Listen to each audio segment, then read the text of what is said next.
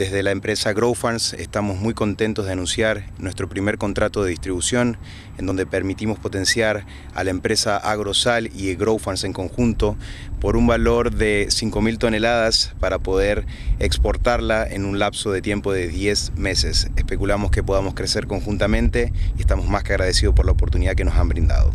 Las 5.000 toneladas de alfalfa estarían destinadas principalmente para países árabes inicial, inicialmente, pero si se encuentra con la habilitación de China como nuevo destino inicial, pudiéramos ampliar también nuevos horizontes. Nosotros como fundadores sí es la primera vez, estamos muy entusiasmados, muy contentos de estar aquí y emocionados por lo que estamos viendo, que este realmente existe y vemos un gran potencial en estas empresas.